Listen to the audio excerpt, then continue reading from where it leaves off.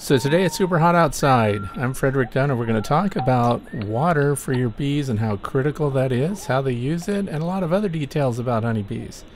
This is my garden hose water oasis and I leave it running all the time just like this and I'll explain why. You have to set up your water source early in the year. We're in a heat wave here in a lot of parts of the country and here in the state of Pennsylvania we might even set a record today. So it's in the mid to high 80s this afternoon. And it's no secret that every living thing needs water, but honeybees are no exception, and they keep the entire hive cool with it. So by setting this up, we provide the bees with a source of water that'll keep them out of the neighbor's swimming pool. Now you'll notice that this honeybee is in the shade and it's collected on the side. This is really just a livestock waterer, but you have to be careful and one of the reasons why the water is constantly moving here is to help keep it cool. So this bee has stuck her proboscis out and her tongue goes out there and gets this water and she'll be hauling that back to the hive. We'll talk a little bit more about that later. And yes, a lot of this is slowed down. That's why some of the audio sounds funny. People want to know if I put those background noises in there for entertainment value in post-production, but I don't. They're just recorded when I make the sequences. Most of these are about 20% normal speed. But anyway, we see the honeybees here. And these are the workers. Foraging bees that are collecting water are the oldest foragers in the hive. So this is their last duty assignment. Notice the wings on this bee, they're tattered and their edges are worn. And this bee has landed on a damp stone. This was uh, brickwork that is just eroding away gradually through the years, and the bees like it because some of the minerals and things that are in the brick actually get absorbed into the water too. But the water I'm using is filtered.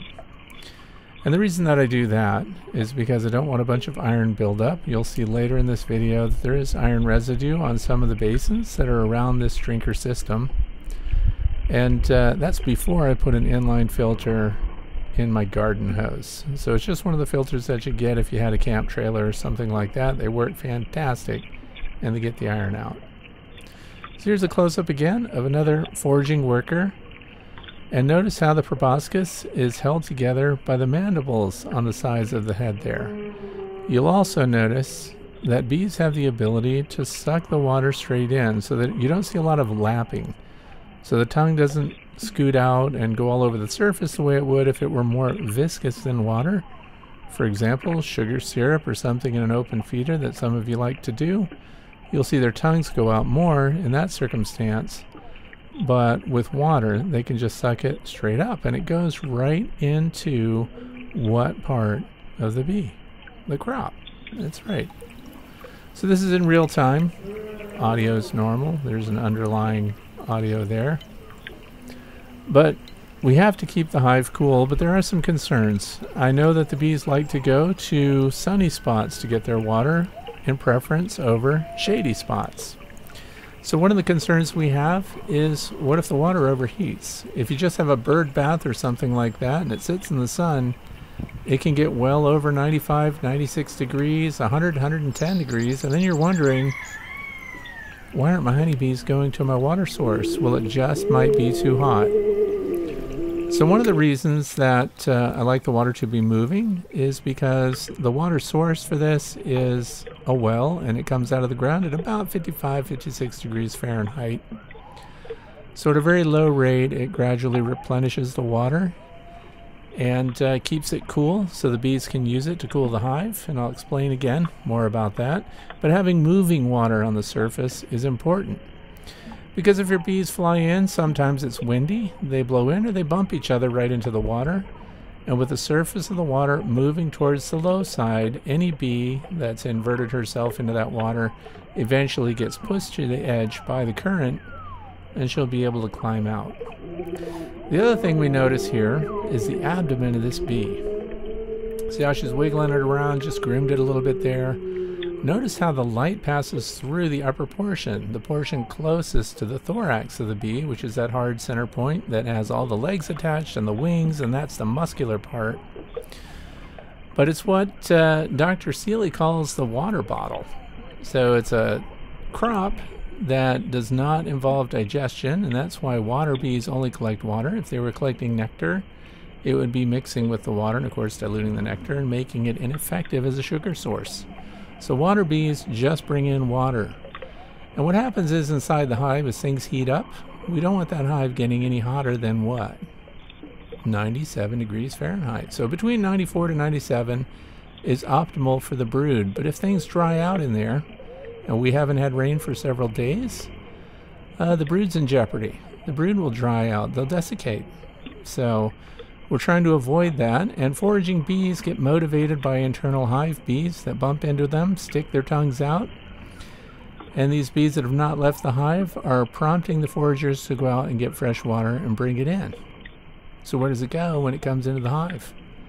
Well, they pass it off immediately through trophallaxis, mouth to mouth, from the honey crop, which is also their water crop, which is also where the nectar gets carried. And uh, they'll pass it off to the workers inside the hive. They'll also paint it around the surfaces of the brood in particular, and through evaporation, cool the hive. And they generally run the hive below 97. So that's kind of their critical point there. Another reason not to have super hot water out there. The other thing is, uh, they'll even put some of this water into the cells inside the hive. So it is not unusual during a dearth period, which is what we have right now, a minor dearth. We have flowers that are going to come in soon and provide more nectar, but they're in a challenging situation with a combination of heat and a lack of nectar coming in and low water due to lack of rain. So it's up to us to provide that water resource for them. And when they bring it in, uh, when they're through filling some of the frames, and some of us have come across that when you've pulled frames and uh, done inspections, and some of the liquid falls out of those frames when you tip it like water. Well, there's a good chance it actually is water because they're increasing the humidity instead of dehumidifying, which is what they do when there's a nectar flow on. But in this case, they're trying to increase the humidity inside the hive in order to, again, preserve brood. Now, one of the things that keeps these bees from dehydrating themselves is what's called the cuticle. There's a waxy coating all over the surface of their body, their exoskeleton. This keeps these workers out in the sun from dehydrating. It's really important. You'll also notice the antenna there touching the surface. They can sense mineral content of the water, quality of the water, and whether or not they even want it. Sometimes people will ask if they should be adding something to the water. Can I, should I add something to my water to make sure these foraging honeybees can find it? And the answer to that is no. Just have it as regular water and the bees are excellent at finding water. They are going to explore every nook and cranny, and this is where their memories kick in as well. The bees that find good quality water bring it back to the hive. They do the taste tests, and other bees, just as when they find any other resource in the environment, they do the waggle dance, and other watering bees go out and find the source that was found valuable to the bees inside the hive. Also notice that that proboscis folds back against their neck when they're not using it. Again, slow motion, the audio are just native birds singing in the background. So the other thing you wonder is people want to know how bees breathe. And if you look at the abdomen there, you can see that it's expanding and contracting. And that expansion and contraction actually uh, shows us how full the abdomen is because there are other chambers there besides the crop. The first thing, of course, in the top of the abdomen is the crop. Then the middle chamber is the ventriculus, and then the waste, the third chamber there, is for waste material. So it's much nicer to see through the golden area, which is where they're carrying nectar or water, which is the case here. But the other thing that happens, aside from respiration, there are six segments there that you can see. This expansion and contraction also moves hemolymph through the bee. So they're actually circulating their blood because they don't have a heart the way we do. They don't have blood vessels and arteries and capillaries. So that's the other thing that's going on. Now what's happening here, we're at the entrance of one of the hives. That is a HyfeGate in front of it there. It's an entrance that we're evaluating this year. Look for a link in the video description if you want to know more about that. But the bees are ventilating this hive really well with the HyfeGate. So the other thing is that's preventing these yellow jacket wasps that are zipping around now and as well as the bumblebees. They can't get in through this entrance, but the efficiency of air movement through that looks pretty good. If it starts to plug up with too many bees to the point where it interrupts traffic ingoing and outgoing, it's time to add the second HyfeGate. So we spell that H-Y-F-E-G-A-T-E. It's out of New Zealand and it's something new. So anyway, they are cooling the hive. So a couple things happen. They can increase the humidity to preserve the brood, as I mentioned before, but they also need to evaporate and move the water off of the surface of the interior of the hive, and that's how they cool. And this is a classic cooling down venting bee posture. They grip onto the landing board, they aim their head towards the entrance, and they fan out and away. On the inside of the hive, up along the upper walls and interior surfaces, you'll see bees lined up head to tail, and they'll be fanning across each other, and they move their positions around. As they find hotter, more humid streams, they move and align themselves with that and cycle that air back out. So it's very interesting, they're efficient, and they move around in their positions. Here we are in real time, nice big colony. Things are busy here, but you can see very clearly the ventilating bees.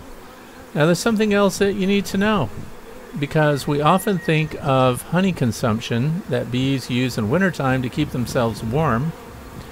But look at the energy these ventilation bees are expending to keep the air moving through that hive, to keep the temperature constant, and keep the humidity under control.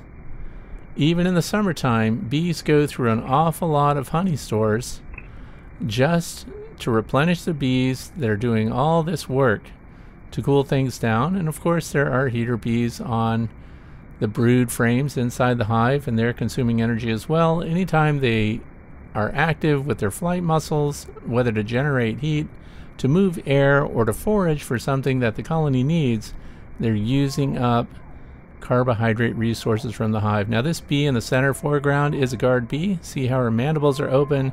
She grabs onto everybody coming and going, and because this colony is so busy, the guards definitely have their work cut out for them. And this entrance is plenty large. The thing is, we're looking across it instead of straight in, so it looks like it's much more congested than it is. And you can see a lot of different behaviors going on here. Stores and resources coming in. Everyone's abdomen is full, fully extended. And the resources in this colony are really coming in right now, which is funny because uh, the forage in the environment is really not providing much now. The dandelions have gone by, the apple tree blossoms are nearing their end, pears are done, and cherry trees are done, and they're getting a lot of pollen actually from grasses right now and some wildflowers, low growing wildflowers. And what we're waiting for is the opening of that white clover. And when that happens, we'll have another nectar flow on our hands and you may be wondering why I don't split this colony. Well, that's because I've already done that. So this colony has been divided. They had a bunch of queen cells, supersedure cells, and uh, we're already ready to swarm, and we thwarted the swarm. So that didn't happen. I felt it was important today, with all the heat across the United States and the storm systems coming through, that it would be valuable to think more about providing water to the bees and what they do with it and which of the bees are collecting it. And again, that posture is very distinctive. Head down, abdomen raised, feet gripping the landing board, and then just fanning as hard as they can to move the air across. You might be wondering how fast is that air moving? It's moving at about 5 miles an hour, which is pretty fast, and that's a little stream of air straight across the back of the bee. And we measured that with a hot wire anemometer, which is interesting. We did a bunch of videos about that, but it's just high tech and boring to watch. The other thing was, no matter how hot it was outside, last summer, even in the high 90s, the temperature coming through at the entrance, like this area here, was about 94 to 96 degrees Fahrenheit consistently. Now there's a forager headed out right in the middle to the right there. Look at the condition of the wings. She is nearing the end of her productive life. Also, we see lots of pollen coming in and going in, of course, which indicates that we have a lot of brood in this colony, and we do. There are four frames of solid brood in this hive, and they look to be doing really well. And we have expanded it single deep, And it's got two mediums on it. And they're looking really good.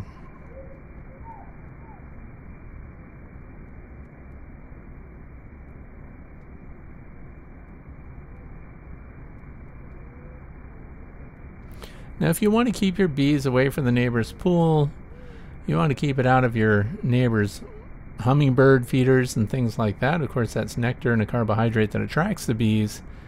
Try to share with your neighbor that they could keep their hummingbird feeder liquid down low so that the bees can't reach it. Hummingbirds can reach much deeper than your honeybees can. So if they keep their hummingbird feeders, you know, half an inch, three eighths of an inch down from the entrance, then you won't have honeybees coming back to it and trying to compete with those hummingbirds. And that also will keep the wasps out of it too. There are lots of bumblebees around. Yellow jacket queens are zipping around, and they are testing the hives unsuccessfully. I'm glad to report.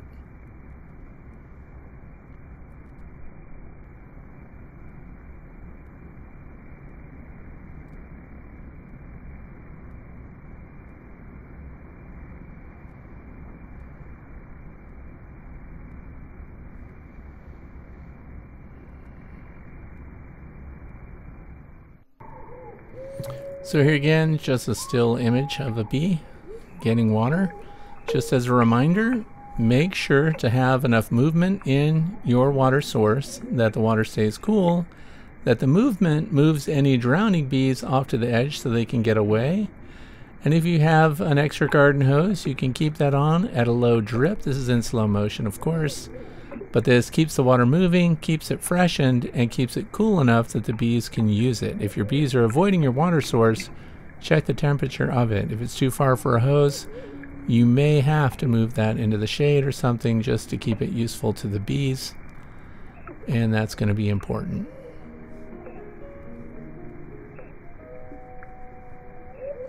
The other thing is we do have quart uh, drinkers out as well, and they have one teaspoon of sea salts per quart for the bees that need the sea salts and mineral content.